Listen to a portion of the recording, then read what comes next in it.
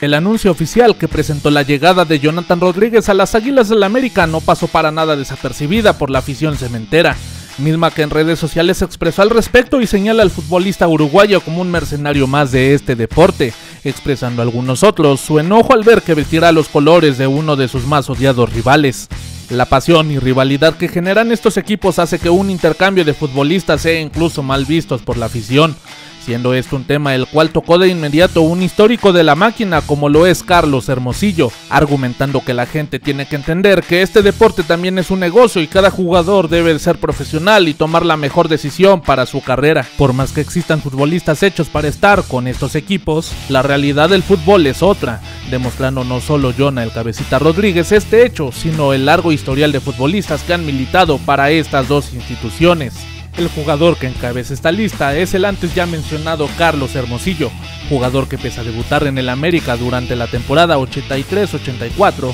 su oportunidad de oro llegó con la máquina en la 91-92, haciéndose rápidamente figura, ganando el octavo título de la institución. Posteriormente regresó a Cuapa para reforzarlos en la Copa Libertadores del año 2000.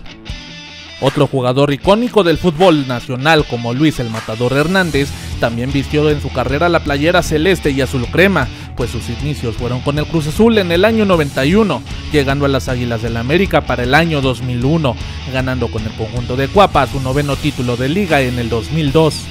Un jugador fuera de serie en el mundo como lo es Sebastián El Abreu estuvo con el Cruz Azul del 2001 al 2003 dejando buenos dividendos al anotar más de 30 goles pasando por el América un año después donde solo pudo convertir en tres ocasiones en 16 partidos pintado de amarillo. Richard Núñez también comenzó militando en el cuadro cementero desde 2005 hasta 2007. Sin embargo, después de sus actuaciones como celeste, fue visto con el Club América ganando la Interliga para partir en 2008 hacia Uruguay. Alfonso Blanco, que es el actual arquero que milita en el Club León, tuvo un paso corto por Cruz Azul durante el 2008 y 2009, saliendo de la institución para ir al ascenso con el Irapuato y después regresar a Primera División en un paso fugaz con el América durante el 2010. Así como estos futbolistas antes mencionados, algunos otros que vistieron las dos camisetas tuvieron primeramente un pasado azul crema, tal y como sucedió con Matías Bozo, Pablo Aguilar, Adrián Aldrete, El Maza Rodríguez, Shaggy Martínez y uno de los jugadores que hoy día más aprecia la institución celeste, Cristian El Chaco Jiménez.